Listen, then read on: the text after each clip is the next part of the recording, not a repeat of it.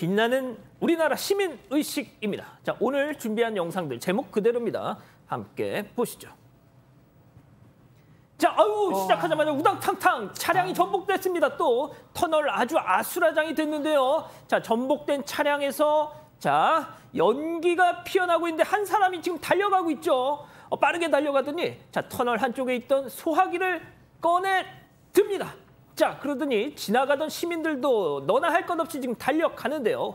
그래서 결국 운전자를 구조합니다. 자, 양 변호사님, 터널 안에 소화기가 있는 걸 알고 빠, 다 바로 그 지점으로 가는 거 예사롭지 않습니다. 그렇죠. 저 운전자분이 대단한 게 보시는 것처럼 이 뒤에 차량이 뒤에서 오다가 터널에 진입하는 곳에서 이 시설물을 들이받고 전복이 된 겁니다. 그대로 터널 안으로 들어와서 불이 붙었어요. 아하. 그러면 터널 안에서 화재가 발생하면 대형 사고가 날 수도 있어요. 그럼요. 하지만 앞차 입장에서는요. 지나가면 그만인 거예요. 그럼요. 하지만 바로 차를 멈추고 게다가 소화기를 찾아서 바로 뛰어갑니다. 음. 저분 부산 해운대 경찰서 우동지구대 소속 박찬호 경장님입니다. 아, 그렇구나. 네, 나 예사롭지가 어쩐지. 않죠. 역시. 그래서 저분이 딱 화재 소화기를 꺼내서 불을 끄기 시작하고 다른 시민들까지 이 같이 뛰어들어서 운전자도 구하고 화재도 진압을 한 건데요. 반바지 차림이었어요. 어. 2번이셨습니다. 아, 쉬는 날. 네, 박찬호 아이고야. 경장님 다시 한번 이름 불러드립니다. 아유 정말 고생하셨습니다. 자 또 다른 영상 함께 보시죠. 자 도로에 나뒹구는 저 파란색 박스 주류 박스가 쏟 주류 박스가 쏟아졌습니다. 일단 운전자도 죽고 있고 자 그런데 자 교복을 입은 저 여학생 두 명의 여학생 세상에 맨손으로 그 깨진 병 조각을 정리하고 어쩜 좋아 다치면 어떻게 해?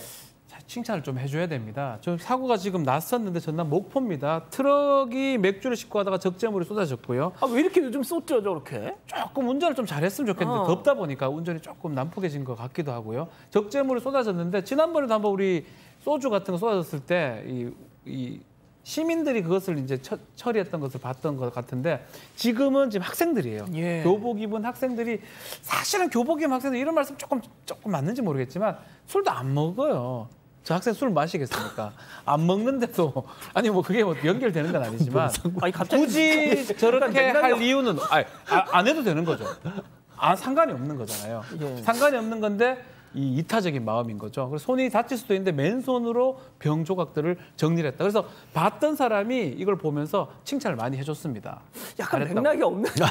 하여튼 뭐 굳이 안 해도 어, 어. 누가 욕할 리는 없는 거거든요. 아니, 뭐 물론 도와줄 그렇죠. 의무도 사실 없는 거고요. 근데 이 두 친구가 이 손 맨손으로 음. 그병 조각을 다 처리했기 때문에 이본 사람이 이걸 갖고 이 찍어서 잘했다고 칭찬을 한 것입니다.